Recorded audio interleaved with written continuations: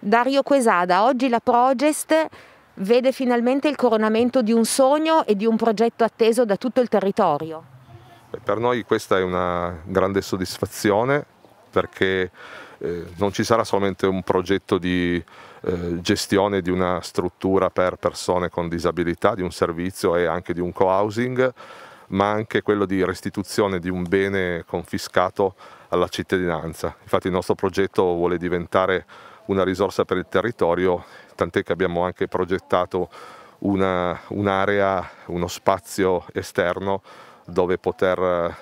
speriamo poi uscendo fuori dalla pandemia, poter far arrivare le persone e far partecipare attivamente la gente del luogo. Rossella Ganga, Progest, gestirà questa casa con un'animazione importante dal punto di vista sociale e morale. Eh, sì, questo è il nostro obiettivo principale, il bene verrà restituito alla collettività in un progetto di integrazione con le persone disabili e il co-housing partirà il prima possibile affinché la casa venga abitata immediatamente, la comunità disabile aspettiamo le ultime procedure autorizzative e poi siamo pronti.